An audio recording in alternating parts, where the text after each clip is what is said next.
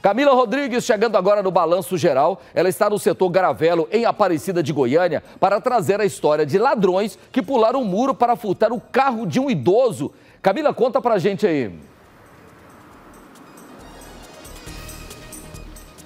Exatamente, Aloares. Nós tivemos acesso a esse circuito interno de segurança, né, o que essas imagens que foram gravadas aqui pelas câmeras e mostram esses três indivíduos pulando aqui a grade dessa loja, que é uma distribuidora, na verdade, de pisos aqui no setor Garavelo, em Aparecida de Goiânia. O Fabrício, que é neto, né, desse senhor que acabou perdendo esse carro, está aqui com a gente, vai explicar um pouco mais essa situação.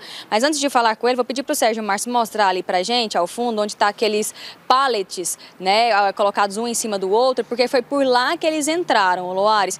E aí tem cerca elétrica, vocês conseguem ver aí a cerca, mas ela não está funcionando. Então eles aproveitaram disso para poder pular aqui essa grade, entrar nessa loja, né, nessa distribuidora e furtar o carro. Uma ação durante a madrugada, Fabrício. E eles, o que a, a, a, gente percebe nas imagens é que eles trouxeram uma ferramenta, ou seja, a intenção era justamente furtar o veículo que estava aqui. Boa tarde. Exatamente, boa tarde.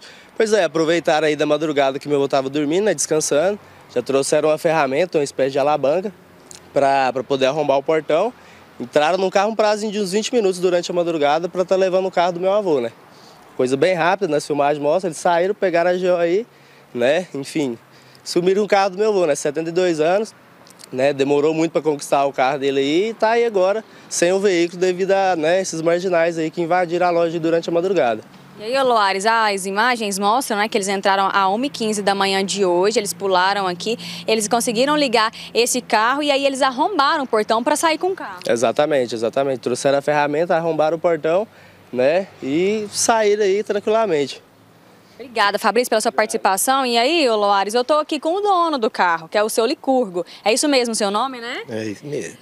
E aí era o carrinho dele, poder andar, poder se locomover pela cidade. Ele é vigia aqui ah, do estabelecimento e ele estava dormindo numa casa que fica aqui, bem, bem pertinho aqui da, da loja.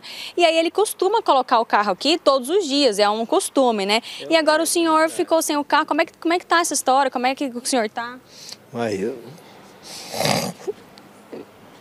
Isso aqui, Loares, é emoção de um senhor que lutou a vida inteira, conquistou esse carrinho. Não tem seguro, né, seu Licurgo? É um Gol G2, né? A condição que ele tinha, ele conseguia com esse carrinho ir para a igreja, comprar suas coisinhas. E esses três bandidos deixaram ele aqui nessa situação, porque o carro não tem seguro e era a única coisa, era o bem que ele tinha né, Loares? E, e, e o senhor estava dormindo na hora? Estava, eu não ouvi nada não. É, a mulher também estava também, não ouviu nada também. Quando eu saí aqui seis horas da manhã, já não vi meu carro mais não. E aqui derrubado, derrubado. Na hora que o senhor acordou aqui não viu o seu carro, como é que o senhor ficou? Ué, eu, Deus me livre, me deu um. Não foi brincadeira. Se eu tivesse problema no coração, acho que eu tinha morrido era na hora, porque eu custei pagar ele. Dá bem. E a gente é pobre, não tem nada, mas de... foi muito ruim, foi muito ruim mesmo, sabe? Nossa Senhora, eu nunca esperava que acontecesse comigo, não. Eu coloquei ele aqui, era 8 horas da noite, eu não sou de sair pela rua de noite, entendeu? E eu cheguei, eu saio, logo eu coloco o carro para dentro, já guardo, já, já tranco ele. Esse tempo atrás tentaram roubar ele ali em riba. Aí eles entraram aqui essa noite, me encatou ele. O senhor usava esse carro para quê? Qual era a atividade? Por que, que, o, senhor, por que, que o carro era tão importante assim para o senhor? Não, o carro era importante para mim, para mim na casa dos meus filhos, para mim ir para a igreja, porque eu, todo fim de semana eu vou para a igreja em Trindade. Todo fim de semana. É muito difícil fazer um fim de semana sem eu ir para a igreja, entendeu? Então, o meu carro era só para isso. Não era para nada, para nada mais. É só para mim ir para a minha região, para mim para a igreja do Rio Pai Eterno, porque eu sou lá de dentro. Quanto, quanto tempo o senhor demorou para conquistar esse carro? Não, quer ver, me pagar ele foi dois anos, me pagar ele, eu fiquei com ele só três anos. Ou seja, muita luta, muito trabalho, né? Fruto de muito suor. Foi no serviço, eu também lá numa loja ali para me pagar ele, né? Que talvez eu também 10 anos só para pagar o carro. E agora, em prazo de 20 minutos, levaram o carro do senhor? É, levou. Agora eu não sei como é que eu faço, não, porque eu gosto muito de ir para a igreja, sabe? Eu vou sentir muita falta dele, porque eu, precisava de ir para a igreja, não sei nem o que eu faço.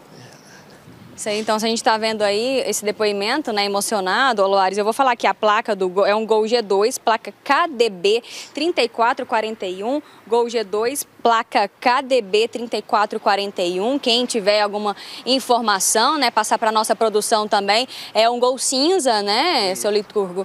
É, e aí, quem, quem, tiver qualquer informação, né, Loares, passar para a polícia também, pelo 190, 192, até para o nosso telefone também, para que a gente consiga recuperar esse carro, né? Tem algum algumas informações aí, esse, esse, esse, furto que aconteceu hoje a 1h15 da manhã, que deixou esse senhor de 72 anos nesse estado aqui emocional, o carrinho que ele tinha, o único bem que ele tinha, para poder transitar aí, né, Loara? Situação difícil.